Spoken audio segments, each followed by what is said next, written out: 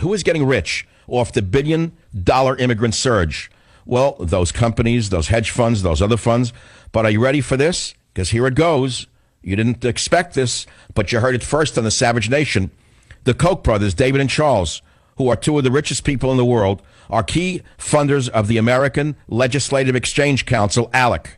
Now you know why Michael Savage has never been invited to speak to that group. Now you know why Donald Trump has been excommunicated by the Koch brothers. I explained to you a few minutes ago what ALEC is and what they do. ALEC is a lobbying group, and they tell legislators how to vote. The Koch brothers are key funders of ALEC. And so there you have it. You thought it was all liberals who wanted amnesty, but now you find out it's very apparent that so-called conservatives, who are now the guiding forces behind the illegal immigration surge that is now going on in this nation, they're behind it because they own these facilities with thousands of unused beds around the nation. And they want you to fill them and pay for them.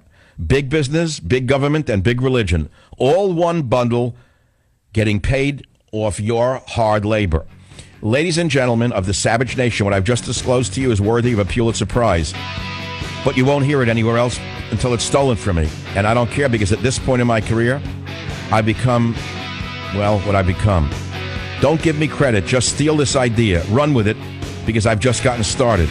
These capitalists have pushed Congress to bring in those illegal aliens by the trainload to fill the beds in many of their privately held detention centers because they make more money than did the druggies. Never forget what you just heard in these last two segments.